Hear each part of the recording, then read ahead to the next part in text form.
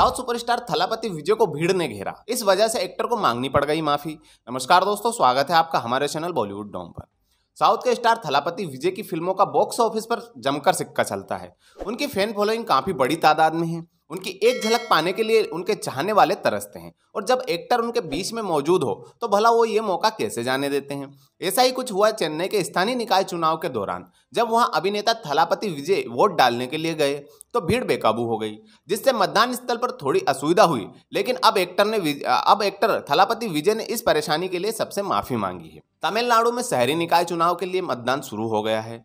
इस दौरान अपने मत का इस्तेमाल करने साउथ एक्टर थलापति विजय भी पहुँचे। अब जैसे ही वहाँ मौजूद, उनके फैंस को उनके आने की भनक लगी। उनके साथ एक पिक्चर लेने के लिए टूट पड़े। हर कोई उन्हें देखने के लिए उनके पास जाने लगा। इतना ही नहीं, लोग उनकी गाड़ी के पीछे दौड़ने लगे। जिससे वोटिंग एरिया में बाकी वोट देने आए लोगों को परेशानी का सामना करना पड़ा। पर जैसे ही विजय ने देखा तो उन्होंने मतदान केंद्र पर असुविधा के लिए स्टेशन के अधिकारियों और जनता से माफ़ी मांगी और फैंस को थोड़ा संयम बरतने की रिक्वेस्ट की। थलापति विजय साउथ इंडस्ट्री का पॉपुलर नाम है। अपनी एक्टिंग और फ़िल्मों की वजह से वो अक्सर लाइमलाइट में रहते हैं। मास्टर, सरकार, थेरी मर्सल पक्के बिगिल पुली जैसी फ़िल्में कर चुके हैं। वहीं उनकी आगामी फ़िल्म बीस्ट थलापति छाछठ जल्द ही सिनेमाघरों में दस्तक देगी। विजय तमिल इंडस्ट्री के सबसे ज़्यादा फ़ीस पाने वाले एक्टर हैं। अपनी आने वाली फ़िल्म थलापति छाछठ के लिए वहाँ सौ करोड़ की फ़ीस ले रहे हैं।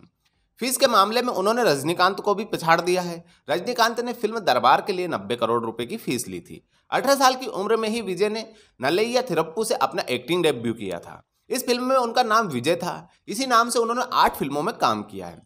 आज वो साउथ इंडस्ट्री पर राज कर रहे हैं। उनकी फ़िल्मों को लोग बेहद पसंद करते हैं और स्क्रीन पर उनकी बस एक झलक देखने के लिए बेताब रहते हैं। तो दोस्तों, आपकी जो भी हो रहा है, कमेंट सेक्शन आपके लिए खुला हुआ है। और अगर आपने अभी तक हमारे चैनल को सब्सक्राइब नहीं किया है तो प्लीज़ जल्दी से सब्सक्राइब कर दीजिए। और इसी तरह की खबरों के लिए बने रहिए हमारे चैनल के साथ।